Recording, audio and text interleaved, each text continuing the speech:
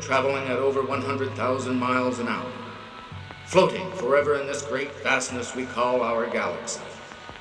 But it is the same galaxy that is home to many stars and planets just like Earth. So who are we to claim sole possession of life? Is man vain enough to think our planet is unique? Or that no other planets may be home to intellectual beings?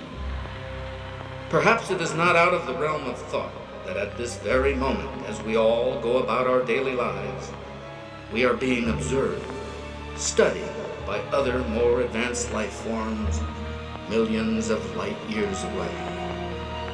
If this is the case, one should properly wonder if man's ever increasing arsenal of atomic bombs and other massive weapons would not send up a warning flag to these intergalactic observers.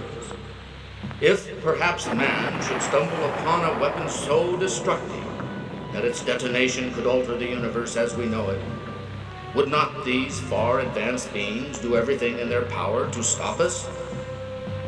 Mankind would serve itself well to carefully ponder this complex question, for in its answer lies our very salvation.